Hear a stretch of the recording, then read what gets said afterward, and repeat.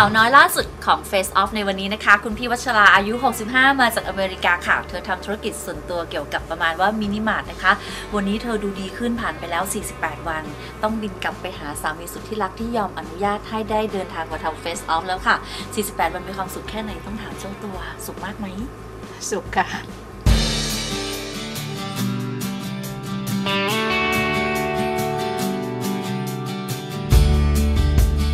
ไหนบอกสิความสุขมันเป็นยังไงคะ จะไปไหนทีก็ก็ไม่ต้องเสียเวลามากนะอ๋อคะโอ้แต่ก่อนต้องนั่งเมคอัพปิดริ้วรอยความแก่นานเลยใช่ไหมคะ ค่ะ นี่คือความสุข แล้วก็กล้าส่องกระจกกล้าถ่ายรูปแล้วใช่ไหม ใช่ค่ะซึ่งแต่ก่อนนี้ไม่เอาเลยไม่ค่อยอยากถ่ายเลยใช่ไหมคะ ค่ะ ใช้เคล็ดลับอะไรคะ ที่บอกให้คุณสามีเขายอมให้เรามาทำเฟซออฟ ก็คุยกับเขาดีๆค่ะ เขาเข้าใจค่ะ อ๋อสำหรับบางคนน่ะสามีไม่เข้าใจหรอก เขาจะหึงภรรยาจะเด็กขึ้นจะสวยขึ้น เขาก็เลยห้ามไม่ให้ทำอะค่ะงั้นผู้หญิงเนี่ยก็ยังไม่รู้ตัวอีกนะคะ ว่าเพราะอะไรสามีถึงไม่ให้ทำพี่วัชราบอกผู้หญิงเหล่านั้นหน่อยสิคะเขาจะได้ฉลาดสวยเหมือนคุณพี่ไง ก็คือ คือคิดยังไงก็บอกสามีก็คุยกันให้รู้เรื่องกันเขาก็คงจะไม่มีปัญหาอะไรนะคะ แล้วก็รู้ทันเขาด้วย ค่ะ ฉันสวยขึ้นฉันก็จะรักคุณมากกว่าเดิมเพราะคุณอนุญาตและให้เงินฉันไปทำอ่าใช่ไหมคะ แต่ถ้าคุณห้ามฉันนะ ฉันจะรักคุณน้อยลง และฉันจะต้องหนีไปทำให้ได้ แค่นี้สามีก็กลัวแล้วค่ะไม่เห็นจะยากเลยเนาะค่ะอ่าแล้วคุณพี่คะทำอะไรไปบ้างไหนบอกสิ เอ่อก็ตาบน ตาล่าง แล้วก็ดึงหน้าสามส่วน แล้วก็ดึงดึง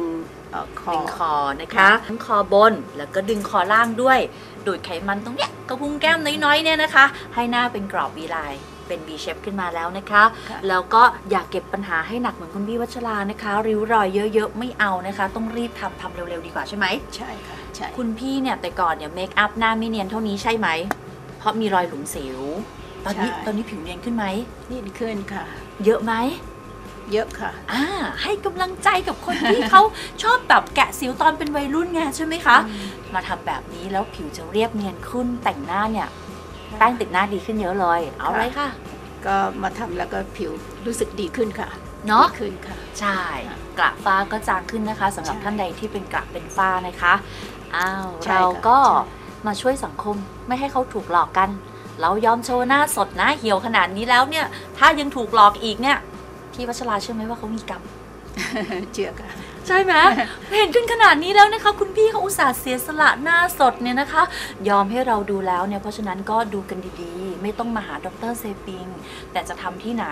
ต้องดูให้ดีเนาะดูวิดีโอนะคะ อย่าดูภาพนิ่ง อย่าถูกเขาหลอกมันรีชัดได้ค่ะ แบนเนอร์โฆษณาอะไรต่างๆ เราต้องฉลาดสวยนะคะ เพราะเงินหายากและมันคือ หน้าเราทั้งหน้าครั้งเดียวในชีวิต แบบนี้ค่ะ พี่ช่างภาพค่ะ 48 วันนะคะวัย65 เข้าไปแล้วค่ะ เดี๋ยวต้องกลับอเมริกาแล้วค่ะก็นี่สำคัญมากค่ะ ถ้าเราเจอหมอคนที่เอ่อไม่มีความสามารถไม่เก่งพอนะคะ แล้วเราก็คงจะเสียใจนะคะ ออกมาไม่ดีอย่างเงี้ยนะคะ สวยแล้วเนี่ยแล้วจะลืมด็อกเตอร์เปล่า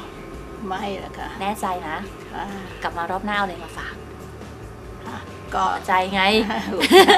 อย่าลืมนะต้องคิดถึงเขาตลอดนะ เราจะบอกลาเลยดีคะ บอกลาความแก่ว่าไงดีคะค่ะบอกลาผู้หญิงที่มีริ้วรอยอะไรใช่แล้วค่ะบอกลาริ้วรอยต่างๆนะคะเยอะไหมเยอะเยอะมาก พี่วัชราคนเก่าที่เป็นอาม่าวัชราไม่มีแล้วค่ะบ๊ายบายค่ะไปค่ะ ฉลาดสวยต้องดรเซปิง